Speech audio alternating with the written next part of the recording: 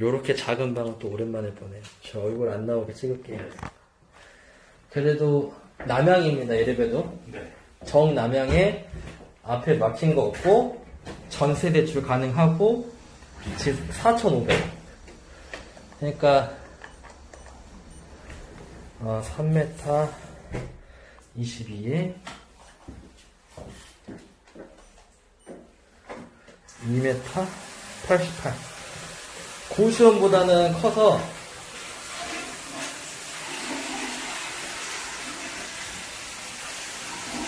침대도 못 나. 침대도 안 들어가.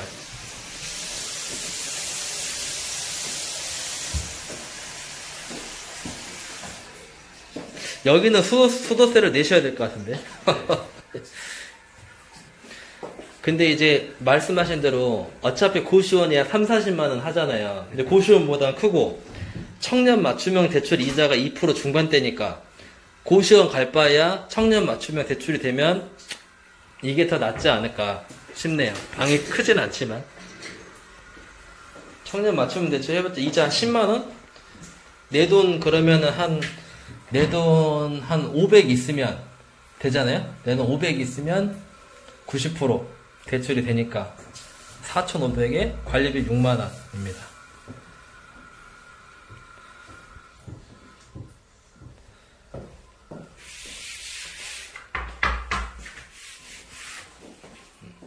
그래도 여기가 남양이라 해는 잘 들어, 들어올 거예요. 앞에 나무도 있고. 지하철역하고도 멀지도 않고